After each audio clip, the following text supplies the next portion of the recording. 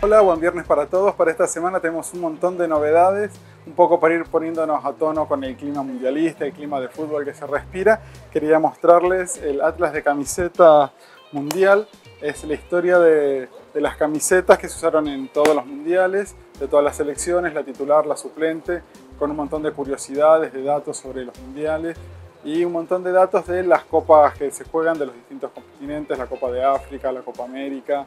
Eh, con, sus camisetas, con sus eh, algunas camisetas emblemáticas, así que es un lindo recorrido para, aprender un poco de historia de los mundiales, ah, se aprende de geografía con todo esto porque hay un montón de, países y de, datos que, bueno, nos invitan a, entrar en la vorágine, ¿no? de consumir datos y de esto y esta, esta fiebre mundialista que, que nos llega por todos lados. También para meterse un poco en el clima de fútbol, recomiendo este libro que es uno de los que más me ha gustado, que se llama 22 Locos. Está, es la revista Un Caño y la propuesta es tomar 22 futbolistas que eh, sean conocidos en el fútbol por sus locuras. Están desde Garrafa Sánchez, Eric Cantona, el Mágico González, y contados de una manera muy agradable, un montón de datos curiosos, un montón de, de anécdotas de por qué se fueron caracterizados, fueron conocidos como, como locos en el mundo del fútbol. Así que bueno, una lectura muy amena para aquellos que les guste el fútbol y la historia del fútbol, verla desde un lugar un poco más, más folclórico, más, más casi gracioso en algunos puntos.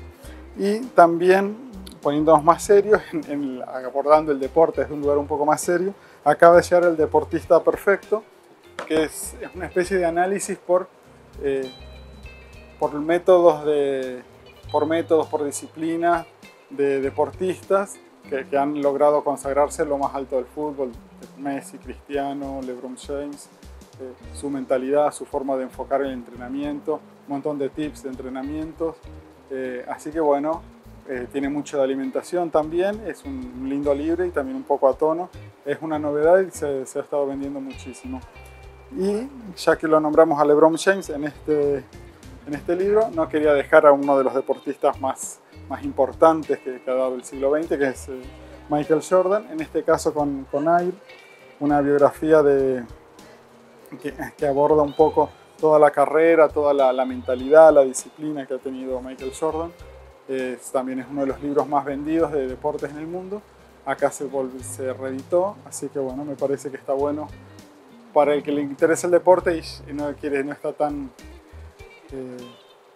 tan bombardeado por el fútbol, bueno, puede tener un respiro ahí en la biografía de Michael Jordan, que es un libro que se usa no solo para saber de deporte, sino lo, usan eh, eh, muchos eh, directores de empresas para enfocarse, para tomar la dirección de grupo, para liderazgo, así que bueno, también es, es un referente en el mundo del coaching. Y para darle una, una mirada al fútbol un poco más graciosa, más, más argentina, eh, recomiendo este, es un libro que ya tiene un par de años de Pedro Saborido, lo presentó justamente en este salón que estamos grabando, este, hace como cinco años. Son, son cuentos, anécdotas, pequeñas reflexiones sobre el mundo del fútbol, sobre todo del fútbol argentino. Y lo, también lo, lo uso para invitarlos a, a esta novedad que acaba de salir, una historia de la vida en el capitalismo, de Pedro Saborido también, que son reflexiones, pequeños cuentos con, con, este humor que tanto caracteriza, esta estética del guionista que por ahí lo conocen por el trabajo con Diego Capusotto en Peter Capusotto y sus videos.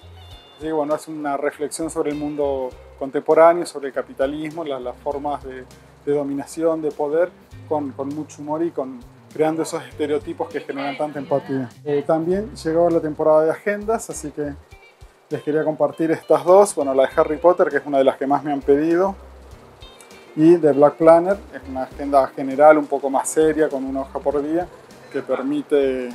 organizarse mejor, que es algo que también piden mucho siempre en las agendas que tengan una hoja por día. Y el de Harry Potter que viene con un montón de, de cosas extras para, para divertirse, para, para, complementarla con una estética este, bien, bien, este, bien poteriana si se quiere. Así que bueno, eh, seguramente ya se va a agotar en cualquier momento porque hay un montón de pedidos. Y para los más chicos volvió a salir Pokémon Super Extra Deluxe, la guía definitiva, un catálogo, no hay mucho más que agregar, ¿no? Un catálogo de todos los personajes, este, con, con, sus posibilidades, con su forma de, desempeñarse en el mundo y con, con, ilustraciones a todo color, así que bueno, va a ser, calculo que también uno de los más pedidos para, para la época de las fiestas, para Navidad, para Reyes. Y quería detenerme en este último libro, que yo creo que ya lo he recomendado dos o tres veces, pero eh, es un libro bellísimo, no tengo tanto que agregar, son cuentos de Samantha Swain. Ella mezcla un poco el género mágico con, con, una, con una mirada súper contemporánea, muy moderna. Es realmente para, para meterse en su mundo, no es parecida a nada eh, y lo recomiendo un montón. Y como son cuentos, también permite acercarse. Este era un libro que había sido premiado con, con el premio Rivera del Duero. Y eh, ayer jueves le dieron el National Book Award, que es uno de los premios más importantes en el mundo, es uno de los premios de, Estados Unidos que se da por, por, una obra, en este caso fue por este libro, que le va a dar una trascendencia mundial y bueno, también la va a hacer rica, yo creo, este, porque no solo le da el premio, sino que le da una, eh, una visibilidad eh, en todo el mundo, así que bueno, celebramos, celebramos este, este galardón y los invito, aprovecho la oportunidad para de invitarlas a descubrir esta autora, que si bien sea en este libro o en, o en alguno de sus otros, eh, es una linda oportunidad para meterse en una autora súper, súper valiosa y de nuestra era. Así que bueno, estas son las recomendaciones de esta semana, espero que les hayan gustado y nos vemos el viernes que viene. Auspició a este espacio Hablamos de libros en Librería Ferrovía.